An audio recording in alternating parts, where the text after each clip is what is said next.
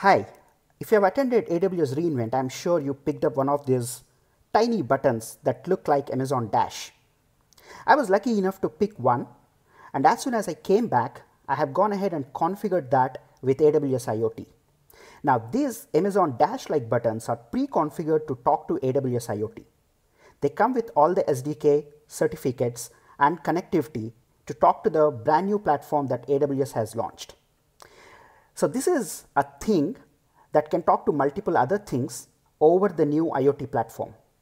So what I'm going to demonstrate is how this Amazon Dash-like button talks to another thing that I have, which is called the LIFX bulb.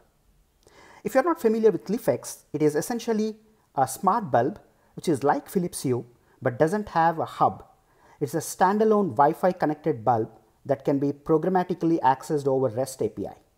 So that's the thing I want to control with the Amazon Dash like thing.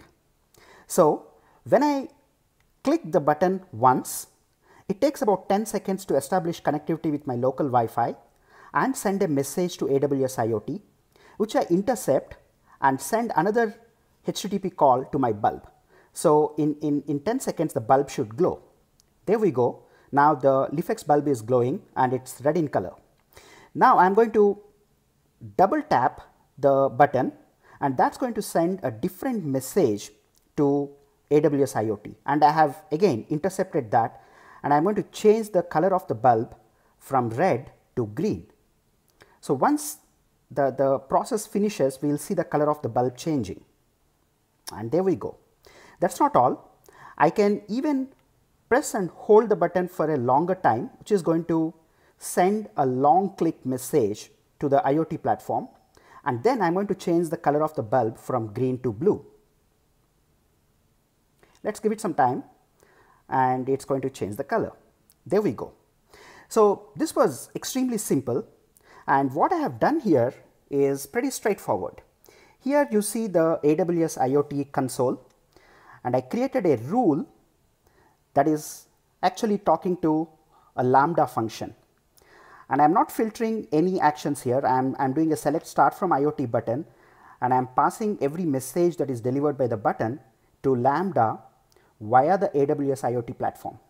So let's take a look at what I have done in AWS Lambda. This is an extremely simple function that I have written which is going to intercept the action performed by the bulb and calls the appropriate REST API to control the LIFX bulb. As simple as that. I am extremely impressed with the power of AWS IoT and its capability to connect with rest of the AWS services. I am currently in the process of comparing this with Azure IoT Suite and Azure IoT Hub and expect a review very soon.